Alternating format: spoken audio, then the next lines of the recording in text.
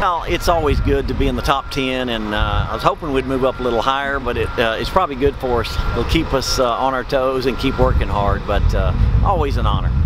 And Andrew Hudson specifically, just kind of the way that he's come on and shown a lot of maturity. What, you, what have you seen from him? Yeah, Andrew had, had a really good indoor season, uh, made a breakthrough, and then we uh, first time we've run him in the 200 all outdoor and then you break the school record right off so uh, really pleased with him and I think he's just touching the surface. What are you expecting out of the weekend, Coach? Yeah, this weekend uh, we have Florida, who's a perennial top one or two nearly every year in the country. Uh, Purdue, us, Arizona. It's a good five or six team. Lot of individual stuff. We're not as worried about our relays. We got those kind of in good shape from Texas relays, and so now we're still working on getting some good uh, good marks. Andrew in the 100, he didn't have an opportunity there with negative winds last week, and our 400 meter people just keep uh, getting better marks been going, you know, several weeks in a row now without a week off. Uh, what's kind of the health of your team, and how do you balance, I guess, continue pushing, trying to get good marks while also kind of resting up a little, trying to catch some rest for the Big 12s? Yeah, it's a great question, and, and it's something that the coaches we talk about every Monday.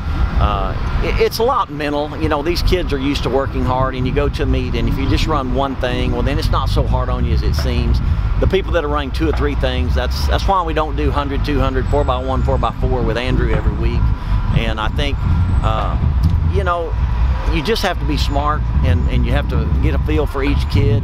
And we'll never overwork too many people in these meets, still trying to get them really good marks because those really play a part in what heat and lane you get when we go to that first round of the NCAA. Um, it's good. It's a blessing. I think it's one of the highest numbers we've been ranked before, so proud of us as a team overall to be able to have a, a you're ranked fourth across the country and to have a, a lifetime best for you, just kind of what it, what went into that process. Did anything feel different for you that day?